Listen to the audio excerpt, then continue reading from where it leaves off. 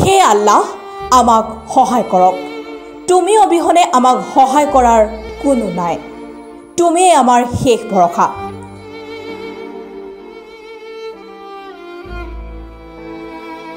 প্ৰথমে মন কৰক এই দৃশ্যলৈ مولانا محمد وعلى آل سيدنا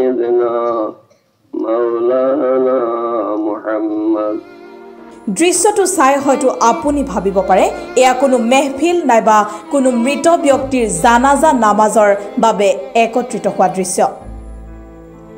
কিন্তু এয়া সম্পূৰ্ণৰূপে নহয়। ইয়াত মানুহবোৰ একত্ৰিত হোৱাৰ কাৰণ হ'ল নদীৰ পাৰত বহি আল্লাহৰ ওচৰত দোৱা প্ৰাৰ্থনা। কাৰণ ইতিমধ্যে বছৰৰ পিছত বছৰ ধৰি গৰাখহনীয়াই সৰ্বশ্ৰান্ত কৰিছে জলেশ্বৰ সমষ্টিৰ টাকিমাৰীবাসীক নেতা আহে আৰু যায়। কিন্তু থাকি যায় অকল প্ৰতিশ্ৰুতি গৰাখহনীয়াৰ সমস্যা কেতিয়াও সমাধান নহয়।